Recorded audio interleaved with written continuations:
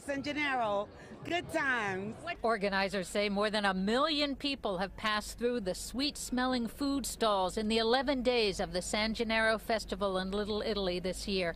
Whether it's sampling the cannoli or the seasoned corn on the cob, the Italian pastries, or the oysters and clams in a newsstand from Midtown Catch Seafood, the numbers are back to pre pandemic levels and everybody is happy. It's a really cool experience. It's a lot of food, a lot of cool people. I enjoy the Italian sausage and peppers a lot. And how is that corn on the cob? That looks so good with the seasoning.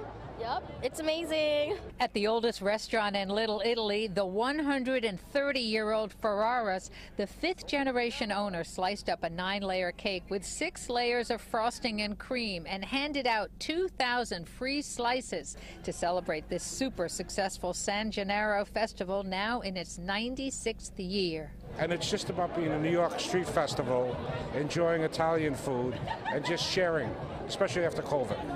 It's great to see everybody come out and have fun. And proud mama Josephine Della Carpini loves that her son's restaurant right next door to Ferrara's, Pep San Grand, is doing so well this year. After all, she taught her son everything he knows. 100%. Her and her sisters. mom. Her and my aunts. Started with the bolognese sauce, uh, and uh, we took off from there. And at Cafe Napoli, celebrating 50 years here on Mulberry, the grandson of the original owners could not be happier. It's a big bounce back from last year, which is big. Uh, a lot of people coming from different countries, different parts of the United States, different parts of New York.